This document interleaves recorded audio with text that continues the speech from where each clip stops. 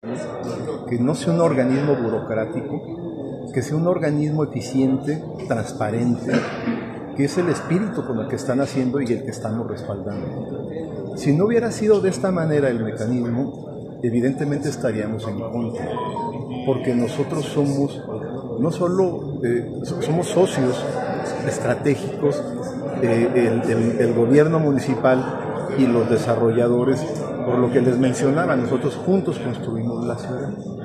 Los permisos y autorizaciones provienen de parte de ellos y ahora ellos harán la segunda parte, que era la que hacía Veolia después de conectarnos y recibirnos algunas de las, de, las instalaciones, conectar a nuestros clientes, ahora harán la doble función.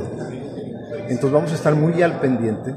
Consideramos que este organismo será mucho más eficiente, rápido, porque en un proyecto nosotros podíamos tardar meses e inclusive muchas veces hasta rebasar el año. Eh, estamos esperando que ese tiempo se reduzca e insisto, eh, que sea absolutamente transparente. ¿Qué vamos a hacer? Eh, vamos a provocar que el uso de la tecnología sea parte del proceso en el que este organismo se, se, inmerse, porque de esa manera vamos a transparentar más los, los procesos que yo les mencionaba.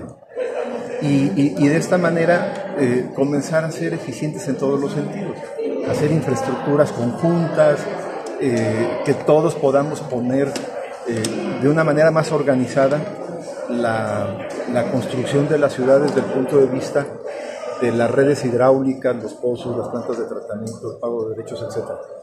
Cuando nosotros hacemos el pago de derechos, al final sirve de, ancla y, de, y, sobre todo hace un, eh, una ayuda a que el, gobierno municipal con esos recursos atraiga más recursos de la federación. Entonces, eh, realmente en este organismo nosotros somos a través de dos consejeros, que no, en este caso, como ustedes saben, no somos los que presidimos, quienes van a ser son dos personas que propusimos altamente técnicas.